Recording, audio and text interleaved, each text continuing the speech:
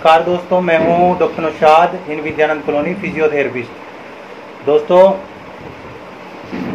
ये जो पेशेंट है, इनको साइटी का प्रॉब्लम थी और इनको कमर से लेके टांग में दर्द रहता था, पूरी टांग में पाँच साल से। तो दोस्तों, इन्होंने यहाँ पे आकर ट्रीटमेंट करवाया अपना।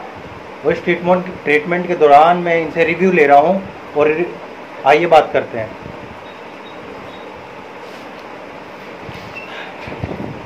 तो आपने कहाँ कहाँ दिखाया?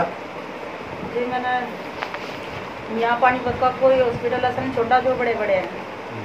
और मेरे एम आर आई दो दो बार हो चुकी। दो बार एम आर आई हो चुकी। और मैंने कोई हॉस्पिटल बड़े बड़े ऐसे नहीं छोटे कि जिसमें जहाँ ये न बोला हो कि बिल्कुल दर्द खत्म होगा। जहाँ महीना डेढ़ डेढ़ महीना दो दो महीना मैंने दवाई खाई उस जगह पे। और मुझे यहाँ आने के बाद इलाज कराया मैंने। तो मैंने डॉक्टर साहब से बोला कि मुझे अब जीने की कोई इच्छा ही नहीं दिखती। मेरा कोई था ही नहीं कि मैं इसमें कुछ आराम पाऊँगी या नहीं। इन्होंने मुझे बताया तुम इलाज करवाओ और उम्मीद रखो इंशाल्लाह आराम होगा। तो क्या रात को नींद आती थी? नींद बिल्कुल नहीं आती थी जी मुझे। क्यों नहीं आती थी? दर्द में मैं इतना परेशान थी बहुत ज़्यादा परेशान थी। मुझे ऐसा लगा था कि बस मैं जीने नहीं इतना परेशान थी। तो बड़े हॉस्पिटलों में कहाँ कहाँ दिखाया और उन्होंने जो टेस्ट वगैरह करवाए थे क्या बोला उन्होंने? उन्होंने ये बोला ऑपरेशन होगा ऑपरेशन के सिवा इसका कोई इलाज नहीं अच्छा ऑपरेशन बोल दिया। ऑपरेशन तो बोल दोस्तों- रीढ़ की हड्डी का। इन्हें हॉस्पिटल में ऑपरेशन बोल दिया था रीढ़ की हड्डी का ऑपरेशन होगा। और खर्चा कितना बताया था? खर्चा बता, दो लाख ऑपरेशन का और ऊपर का खर्चा अलग है। दो लाख तो दोस्तों कोई भी ऑपरेशन तो इस दर्द में करवाए ना। टांग के दर्द का इलाज है, बिना ऑपरेशन के भी इलाज हो सकता है। इन्हों इनका खर्चा दो लाख से ऊपर का बताया था और इस बिना ऑपरेशन के ये ठीक नहीं होगी, ये बोला था हॉस्पिटलों में। तो पाँच साल से इन्हें दर्द था। इन्होंने बहुत जगह दिखाया दर्द। तो इन पाँच सालों में ये बिल्कुल उम्मीद हार चुकी थी। जब ये मेरे पास आई तो इन्हें मुझ पर भरोसा भी नहीं था। दर्द कि ठीक होगा या नहीं होगा, लेकिन हमें अपने इलाज पे भरोसा था और हमने इन्हें बताया कि इस दर्द का इलाज है, आप रोज़ आओ लगातार, आपको आराम ज़रूर होगा। तो दोस्तों, इस फिजियोथेरेपी से, और एक्यूप्रेशर थेरेपी और न्यूरोथेरेपी, इन सब का कॉम्बिनेशन करके हम थेरेपी देते हैं। इससे काफ़ी इलाज पेशेंट ठीक हो जाते हैं। और इसी दर्द की वजह से इन्हें पेट में दिक्कत रहती थी।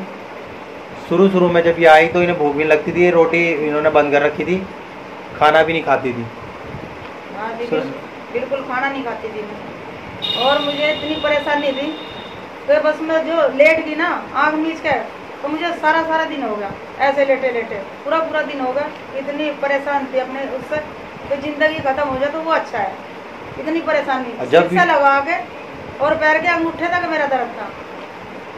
और जब ये अपने घर से आती थी तो रास्ते में कम से कम वहाँ से यहाँ आने में ये दस जगह बैठती थी। इतना दर्द हो जाता रास्ते में आने में ही। और अब ये अपने घर से आराम से आना आराम से जाना होता है।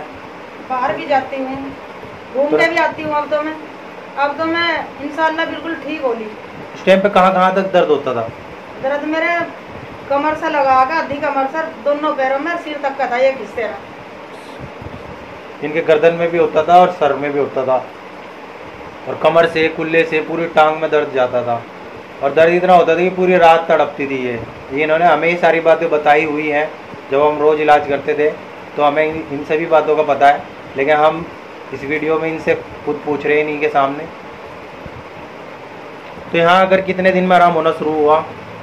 यहाँ कम से कम है, मुझे ऐसा कोई पंद्रह सोलह दिन के बाद मुझे आराम होना शुरू हो गया था बिल्कुल बढ़िया। जो मुझे ये उम्मीद होगी कि मैं ठीक होंगी अब। पंद्रह सोलह दिन में इन्हें बहुत ज़्यादा दर्द में आराम हो गया था और आराम होने के बाद इन्हें ऐसा लगा कि अब मैं ठीक हो जाऊँगा। नहीं इनको ऐसा लगता था कि मैं शायद ठीक ना हूँ। पर ये बस किसी उम्मीद से ही सोचा इन्होंने करवा के देखते हैं जब मैं बोल रहा था इनसे। तो मुझे इतना भरोसा आया ना उस डॉक्टर पे तो हद से ज़्यादा। मुझे कोई भी बड़े से बड़ा डॉक्टर के दिखाओ। हैदराबादी, रविंद्रा, प्रेम हॉस्पिटल। कितने हॉस्पिटल ऐसे हैं जो बड़े बड़े चार पाँच जो तो मेरे अब ध्यान भी नहीं है। मैंने इतना दवाई खाई तो दो दिन, तीन महीने चार चार महीने दवाई बता दी। और एमआरआई भी करवाई। कुछ फ़ायदा नहीं हुआ मुझे उससे। और रात हो वो नींद भी नहीं आती थी इनको। पूरी पूरी रात। तो दोस्तों, जिसको ऑपरेशन बोल दें तो ऑपरेशन ना करवाएँ बिना ऑपरेशन के भी इलाज हो सकता है।